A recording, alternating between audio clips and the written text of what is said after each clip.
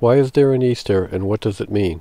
Why did Christ have to be crucified? The Passover, 1500 BC, foreshadowing the second Passover. The Israelites were in Egypt in slavery under the rule of laws of evil men. The word British in Hebrew means people of the covenant. That means the people Israel of the covenant.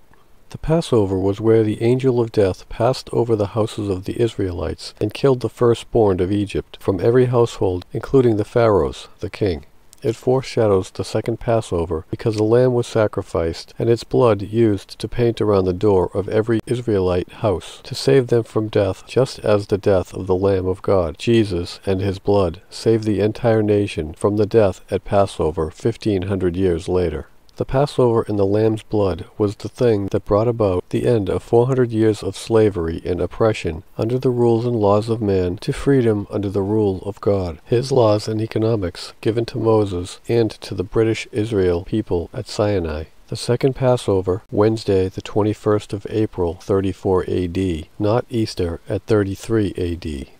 It was the second Passover because the lamb died instead of the entire nation, who were under the curse of the law. What curse and why? The law was not a curse, but a blessing to all of those who kept it, God's law, not man's, and was a schoolteacher to bring men to Christ, the head master. So what was the curse of the law that had condemned the entire nation to death? As the British, Israel, left Egypt in slavery, hoping to never become slaves again, rule Britannia, Think about the words, you all know them. They swore that they would never kneel to any man ever again, only to God who had given them freedom from the rule of evil men. But a human's word and memory is cheap and short. At Sinai in Horeb, Moses was given God's laws, statutes, judgments, agricultural and economic policies, so that the British, Israel, could live in prosperity and freedom from oppression under selfish men's laws and economic policies. The entire British nation accepted the contract, covenant, that had been made, at first, with Abraham, their father, because he did not withhold his only son, the miracle child Isaac, on top of Mount Moriah.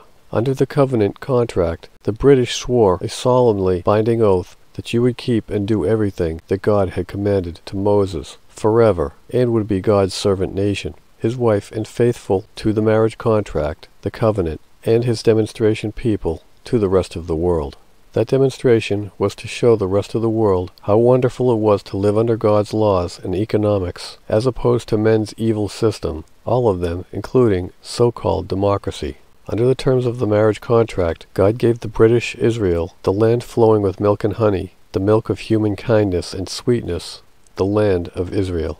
He said that as long as they kept his ways and did not commit adultery, unfaithfulness to him or each other, he would bring the sun and rain in their seasons, and he would make their crops grow abundantly, and they would want for nothing. They would live in peace and safety and be happy and prosperous. With no need for crime, there would be no poverty, and everyone would love and help each other. Love your neighbor as much as yourself. The idea behind this was so that the Gentile nations outside of Israel would see how wonderful it was to live under God's system and would want it for themselves. They would have two options and would choose the wrong one first, as humans always do, and that would be to try to take Israel by force and steal what they had. But under the covenant, marriage contract, God had promised the British that he, as a husband protects his wife, would fight their enemies for them and defeat them and that one British man would chase a thousand, and they would flee in terror. So then the Gentiles would have to take option two, quote, if you can't beat them, join them.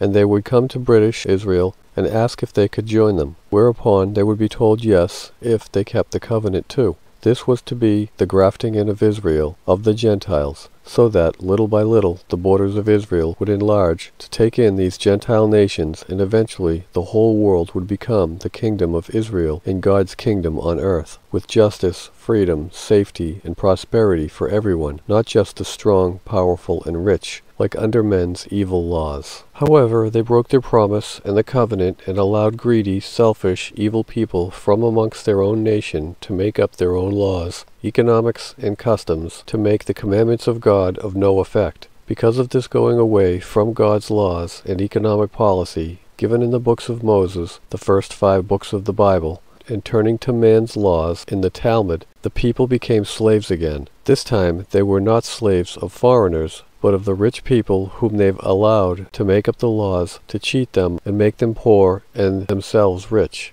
people within their own nation. So they had broken the contract and were not giving God's demonstration as they had promised, and would not be able to help God to bring the Gentiles into the kingdom, as there was nothing worth joining. The system had become no better than a Gentile one. The curse then came into force under the covenant were blessings for keeping the contract and penalty clauses or curses for breaking the contract. As they had broken the contract, they had come under the curse penalty clause, and the curse was death for the whole nation.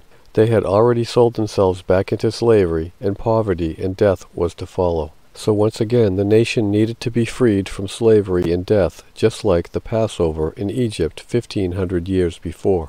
As the covenant came into being because Abraham did not withhold his miracle son Isaac, the only way to save the entire nation from death was for God to annul, cancel, the contract, and the only way he could do that was by sacrificing his own miracle son from the virgin birth, unless the nation accepted his son's sovereignty and returned to his laws and their duty under the old covenant accepted at Sinai in Horeb. This they refused to do, so the contract had to be cancelled, and the only way to do that was for God's Son to be sacrificed instead of the whole nation. The new contract, testament, then came into existence for those who wanted life and freedom.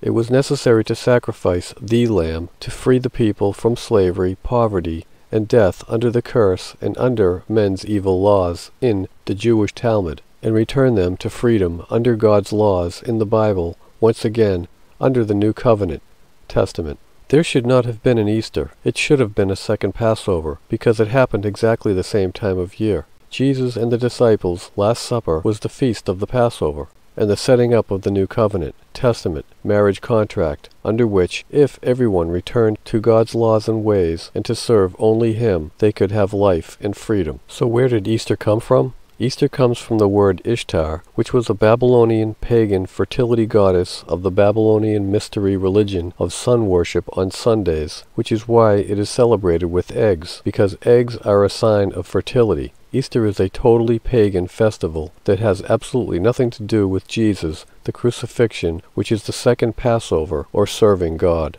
In order to serve only God, which is the first and most important of all the commandments, and to do his will, Islam in Arabic, they would have to learn to communicate with him, so that he could teach them how to be ye perfect, even as your Father in heaven is perfect.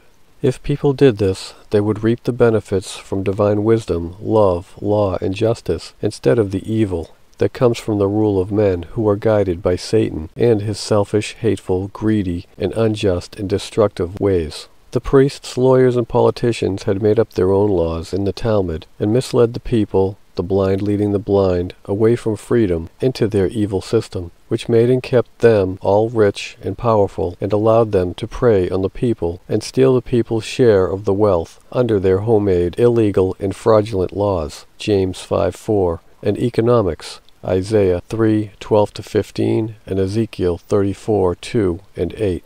James 5, 4. Behold the higher pay of the labourers, who have reaped down your fields, which you kept back by fraud, crieth, and the cries of them which have reaped, and had not been justly paid, are entered into the ears of the Lord of Sabaoth.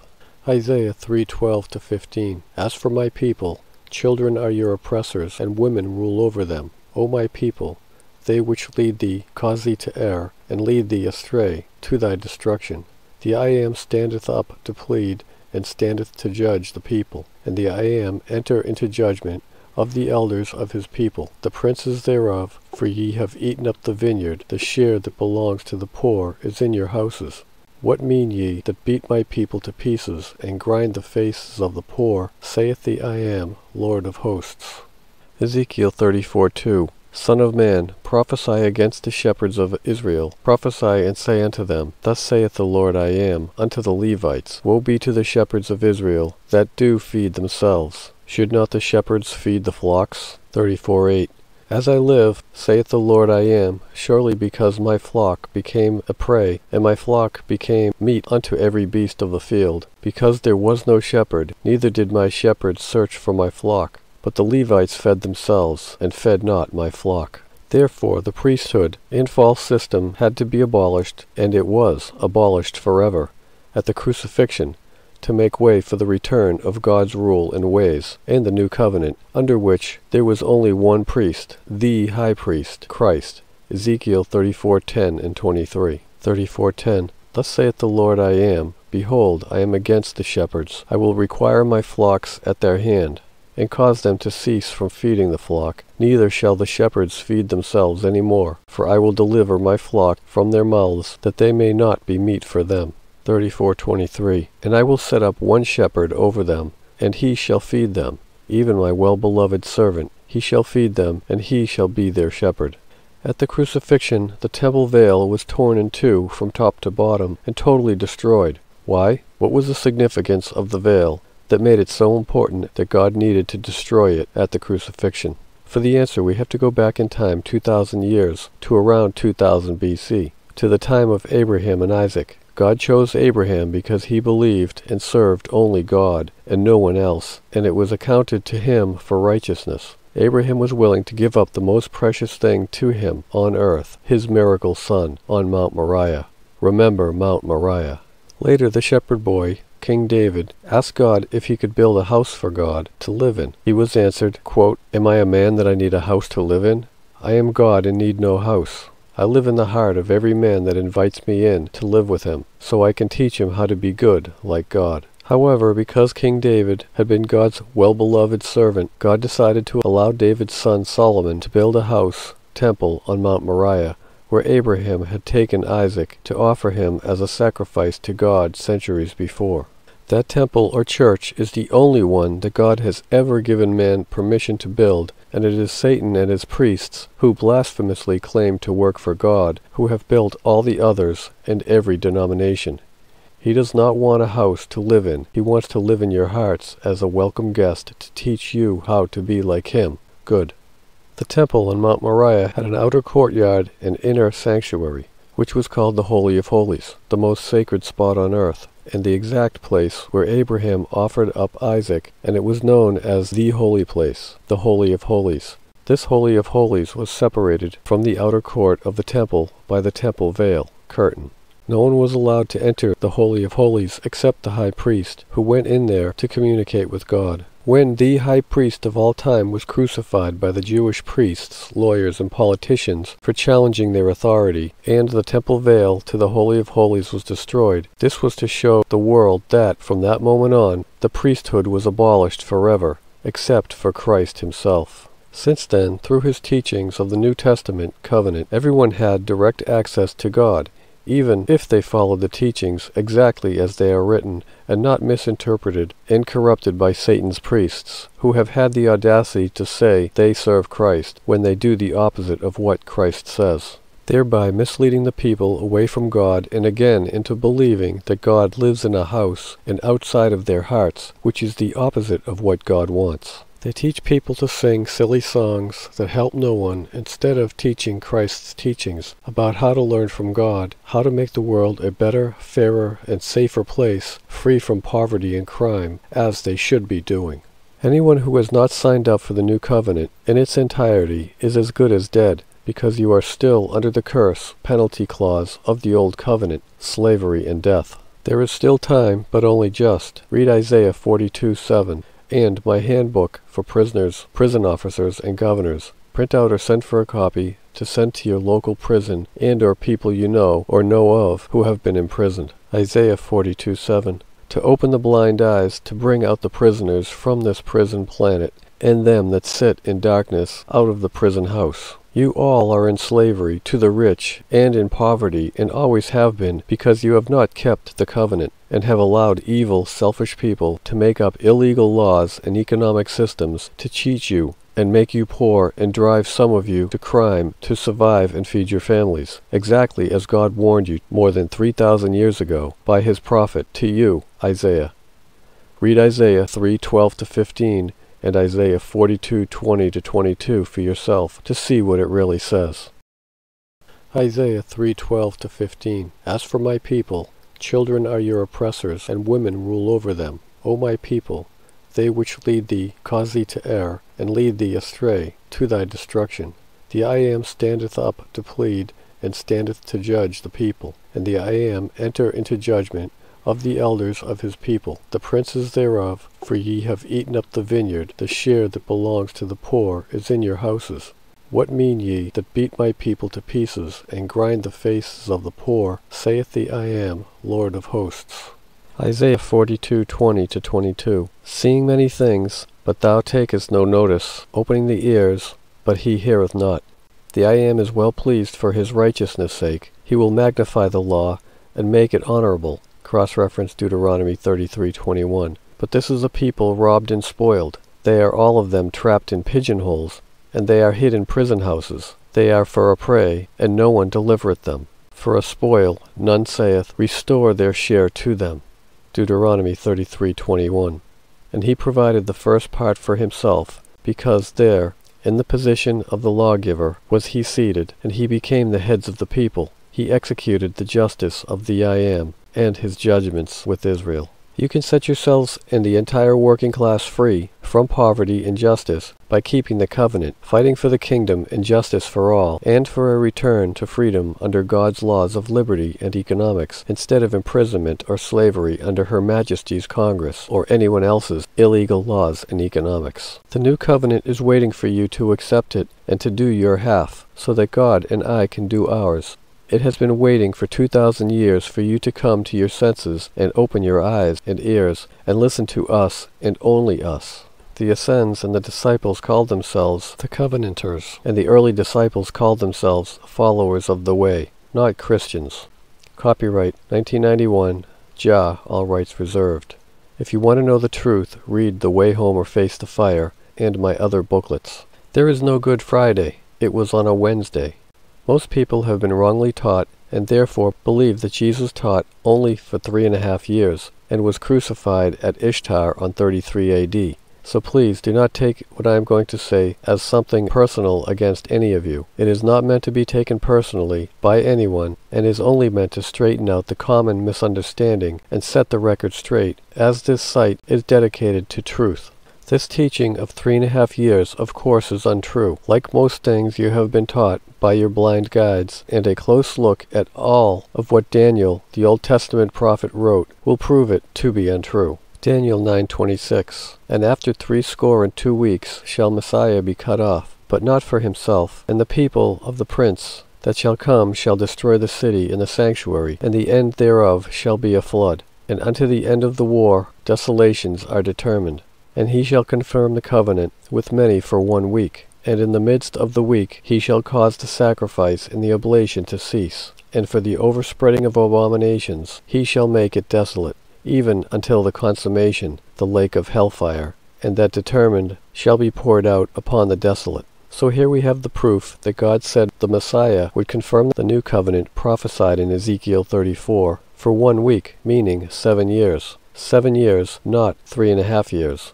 The reference to being cut off in the midst, middle, of the week therefore cannot possibly refer to the number of years, but only to the day of the week, Wednesday, not Friday, as the pagan so-called Christian churches teach, just like they teach the false date of Jesus' birth being December 25th. They have done the same with the crucifixion. It was on a Wednesday, the middle of the week, not on Friday, the sixth day of the week. Jesus arose from the dead on the Sabbath day, Saturday, three days and three nights after Wednesday, midweek crucifixion, exactly as he had prophesied he would do. King of Kings Bible, Matthew 12:39. But he answered and said unto them, An evil and unfaithful generation seeketh after a sign, and there shall no sign be given to it, but the sign of the prophet Jonah. For as Jonah was three days and three nights in the whale's belly, so shall the Son of Man be three days and three nights in the heart of the earth. Ishtar, Easter Friday, to Ishtar, Easter Sunday, is only two days, not the three days that Jesus prophesied it would be, which is further absolutely obvious proof that the teachings of the blind guides of all of the so-called Christian churches, none of whom can see the obvious, is a lie, proving beyond doubt that they are indeed blind guides. The crucifixion was on Wednesday, the 21st of April, in 34 AD, forty years after the birth of Jesus, in 7 BC. To say that the ministry of Jesus was only for three and a half years, as the blind guides who falsely claim to work for God do, is to contradict God in Daniel, who said it was seven years. Those who contradict God are, by doing so, opposing God, which proves that they really work for Satan, the opposer, and that they do not work for God. Do not allow yourselves to be deceived by them, or you will end up in the pit with them, exactly as Jesus told you. King of Kings Bible, Matthew 15:13. But he answered and said, Every plant which my heavenly Father hath not planted shall be rooted up. Let them alone, they be blind leaders of the blind, and if the blind lead the blind, both shall fall into the ditch, or pit. Amen. So be it. Jah.